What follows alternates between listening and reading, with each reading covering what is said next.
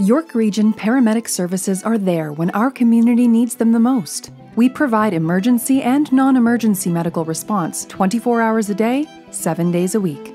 Our skilled, smart, and strong team includes frontline paramedics, specialty teams, and support staff, all dedicated to delivering the highest quality of care.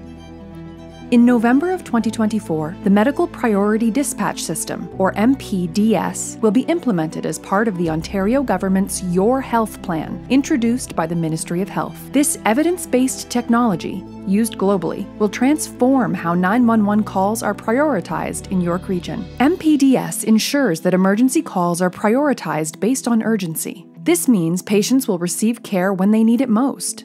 Life threatening cases are given top priority, ensuring the most timely and appropriate level of out of hospital care is available for all in our community. When anyone calls 911, communications officers will ask detailed questions to gather specific information about the patient's condition. Ambulance, what is the address of your emergency? What's the phone number, including area code that you're calling from? Are you with the patient now? Okay, tell me exactly what happened. Is there any serious bleeding? Has he ever had a heart attack or angina? This allows for quick and effective incident prioritization, sending paramedics to the most urgent cases first, but ensuring all of our community has access to care through the 911 system. Lights and sirens are used to respond to and transport patients with the most urgent needs, such as a heart attack, stroke, or a serious traumatic injury, ensuring prompt transfer to the hospital under our paramedics' highly skilled care when necessary.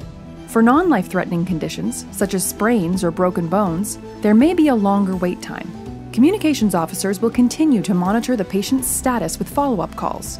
Hi there, this is the ambulance service calling back. We have been delayed. Has there been any change to the patient's condition or circumstance? If their conditions worsen, the call will be reprioritized and help will be sent without delay. It's important to remember that a longer wait time doesn't mean your call is not important. We understand how stressful it can be. Rest assured, York Region paramedics are committed to helping you as quickly as possible. The health and well being of our residents is our top priority. Our paramedics are dedicated to delivering care and saving lives. For more information on the Medical Priority Dispatch System, visit york.ca slash paramedic services.